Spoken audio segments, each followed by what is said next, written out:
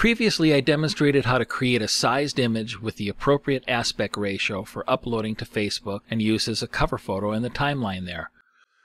The reason one would prefer to have an image already converted to the aspect ratio Facebook uses is so that you can begin to build a series of images that will best represent your business or the clients you manage their social media for. You need to keep in mind, on the internet, image content rules. People don't surf the net to find a copy of War and Peace to read on their computers. It's about pictures. This is one of my cover photos I made for the Phoenix Lightroom Enterprise timeline. Here is the original image I exported from Lightroom, cropped to the 9 by 3.35 aspect ratio I had established there. You can see in the Layers panel here that I have a stacked series above the original exported image labeled as background. These layers transform that photograph into a photo illustration I eventually uploaded to Facebook. Let's have a look at how this illustration was done. The first layer above background, our Lightroom export, is a photograph of a scratched up sheet of metal. I've reduced its opacity to 68% to achieve the look I was after for my illustration. To me, this simulates a sort of glass plate photograph that became damaged by carelessness, as if someone had thrown the glass negative into some old dusty shop drawer and simply forgot about it as they piled more and more junk on top of all the things stored there. I decided to use the overlay blending mode as this layer's treatment for affecting the image below. In this case, overlay provided the effect I was most satisfied with. And that's the thing about blending modes. Each blending mode available from this pop-up in the Layers palette affects an image a bit differently than another, and each layer blending mode may work better in one illustration than on another composite image one may be working with at another time. The best advice I can offer for experimenting with blending modes is to simply take your time and experiment. I almost always utilize layer blending modes in the evolution of my work from original photograph into a photo illustration, and I have found that explanations available in books and online about how each blending mode interacts with the layer or layers below it is helpful only as a sort of rule of thumb. If you want a brief but comprehensive online explanation of how blending modes work, this wiki page is quite helpful. But really, don't sweat it. I know it's important to save time to get her done and all, but when creative work becomes drudgery, just another job, where we're constantly stressing over the time it takes to start and finish what we're doing, then it's time to quit that creative endeavor and start a lawn or pool service as a way to make a living instead. At least you'll be getting fresh air and exercise. Learn the keyboard shortcuts for moving through the blending mode series. Shift, Option, plus, or minus if you're working on a Mac, Shift Alt plus or minus if you're working on a PC. This way it takes only minutes to effortlessly cycle through the options, considering how each affects your work and well worth the time, considering the potential here for ending up with something remarkable for all your effort. Now that I've decided upon the most suitable blending mode effect and its opacity, I need to do a couple of things here before moving on to creating a bit of text in order to complete my illustration. Note what happens when I hold down the Command key on a Mac, the Control key on a PC, then click on the texture layer that is creating this scratched glass plate effect. See our little buddies? The marching ants as a sort of frame around our photo? Check this out. Our composite image file's dimensions is 900 by 335. However, the overlay texture I'm using is considerably larger than that, 1385 by 850. You can see the layer's hidden edges here inside the document window, our active workspace here in Photoshop, but only when the layer is selected. Even if I change the layer's blending mode back to normal at 100% opacity, we are only able to see the portion of this layer that is within our document's set dimensions. But the whole file is still there in its entirety, bloating the size of our layered illustration. Let's cut the fat and trim our file size considerably in the process. Select the Crop tool from the Tool palette, or simply press the C key to make it active. Now click and drag from one corner diagonally to the far corner, press Return or Enter, and you're done.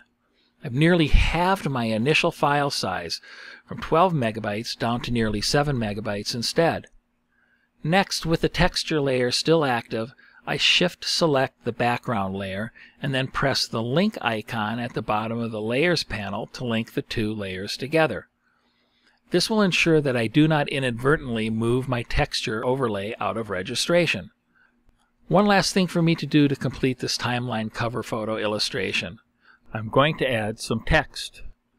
I think that choosing the right font face for text as a design element is one of the more important decisions you will be making in building your illustration. On a Mac, the task is a snap. I simply open the font book utility and as you can see here, I have already carved up a pretty sizable font collection into a series of subsets based upon specific uses of text in the work I do. Headline bold might work, perhaps something from the group Modern Minimalist.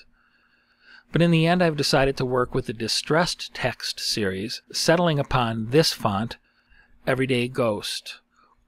Without getting lost in the weeds here by way of an explanation, the long and short of my work with this unique font requires a certain amount of labor kerning between layers. Kerning is the adjustment of space between layers. It is a design layout process that could become the topic of an entire video all by itself. So, maybe some other time. To achieve the finished phrase, let's play as we see it now, took just a little bit of experimentation on my part. I didn't want the phrase to be in color. I chose to work with white for my type instead. The default normal blending mode for this type layer was just not what I had in mind here for my illustration. So again, by a process of elimination, I eventually settled on the overlay blend mode to better achieve the look I was after. But even at 100% opacity, there just wasn't enough presence to this element of my design. And there's just not enough snap to the scratchy, pencil-like formation of the letters that make up this phrase. I would need to add sharpening to my type for that. Now I know from past experience that my composite illustration workflow has me readjusting various settings throughout each project's evolution, returning again and again to tweak something like sharpening on one or several layers. I need to have the ability to update whatever effect I assign to something like this type element perhaps many times over in the process of my work. This requirement is a perfect reason for converting that type layer into a smart object. But keep in mind, once type is converted into a smart object, it is no longer editable. That means, for example, that if I want to tweak this phrase's complex kerning scheme or Perhaps later experiment with some or all of the letters vertical or horizontal scaling or baseline shift, I'd be out of luck. So with the type layer active, I press Command J on my Mac, Control J on a PC to duplicate the type layer.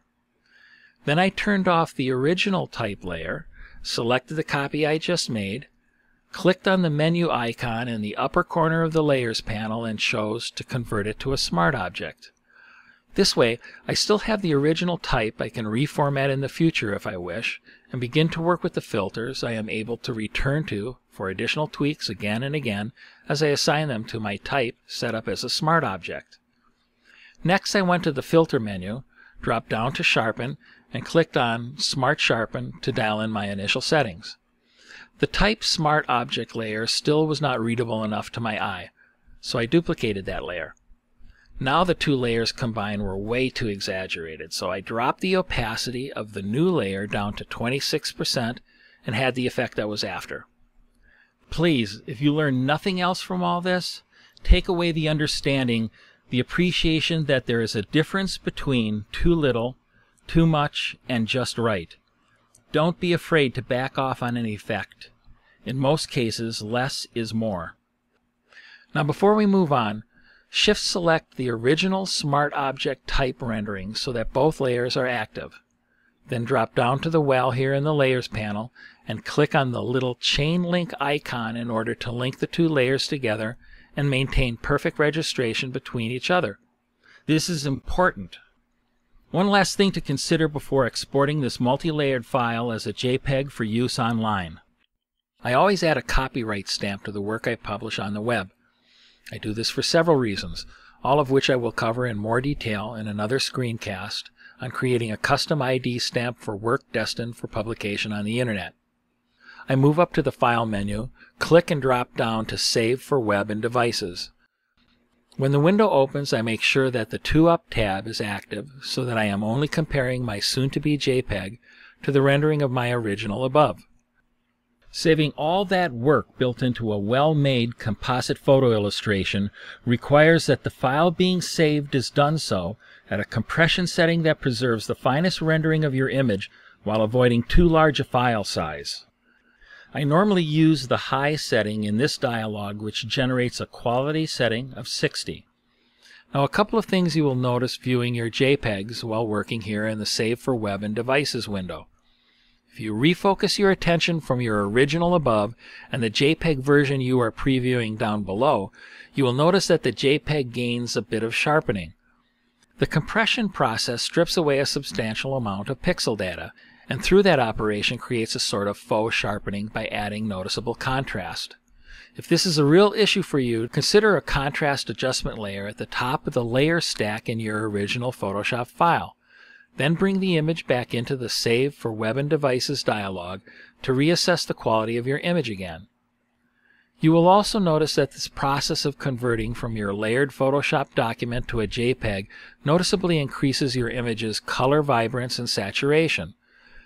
That proposed contrast adjustment layer I suggested will go a long way towards fixing that problem as well. Make sure that both the Optimized and Convert to sRGB boxes are checked. You need the JPEG you are about to export for use on the internet to have this color space assigned to it. In the Preview Options pop-up, I have selected Internet Standard RGB, as this shows me right here how the image will be rendered on the web. If I had instead chosen Legacy Macintosh for color management of my previews in this workspace, because I'm currently working on a Mac, I may well find myself confounded by the results later when I upload my image. By keeping the preview set to Internet Standard RGB, you are less likely to have an unwelcome surprise later online. Select Copyright and Contact Info as your preferred option in the metadata field here, as I believe that it is critical to include this important information you should always be adding at the time you import your images into Lightroom. Save your JPEG and then upload to Facebook as your new timeline cover photo. Once again, thanks for your time.